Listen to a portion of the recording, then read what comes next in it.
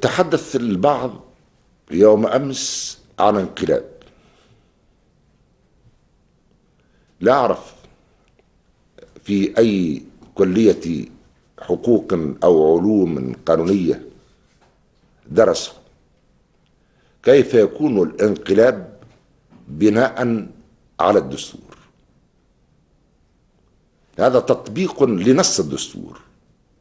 والفصل الثمانون من الدستور منح رئيس الجمهورية الحق في اتخاذ التدابير التي يراها لازمة في صورة وجود خطر داهم الخطر داهم بل الخطر واقع اليوم. بالنسبة إلى الوضع الاقتصادي والاجتماعي بالنسبة للمرافق العمومية وأتحدث عن عديد الملفات في كل القطاعات. صار التسيير بناء على الولاء لهذا الحزب أو ذاك أو لذلك اللوب أو ذاك. يتصرفون في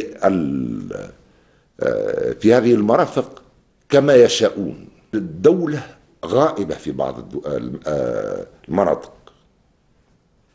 بعض البلديات في السنة الماضية باسم التدبير الحر. لا أعرف هل يعرف معنى تدبير الحر. وضع الحجارة في الطريق.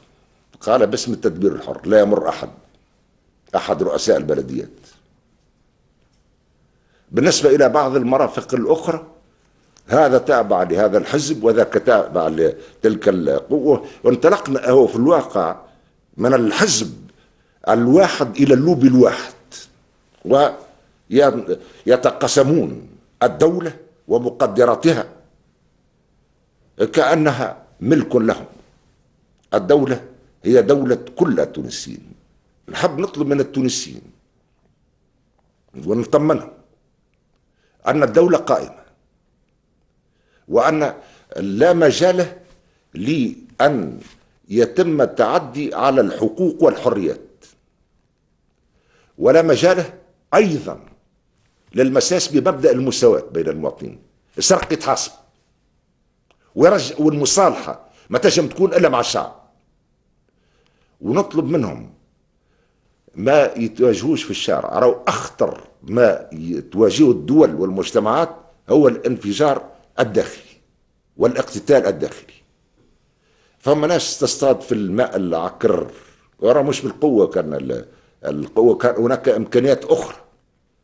فاليوم تحملت المسؤولية ونتحملية التاريخية ومن يدعي أن الأمر يتعلق بانقلاب فليراجع دروسه في القانون. مانيش من الانقلابيين ولكن لن نترك الدولة التونسية لقمة سائغة.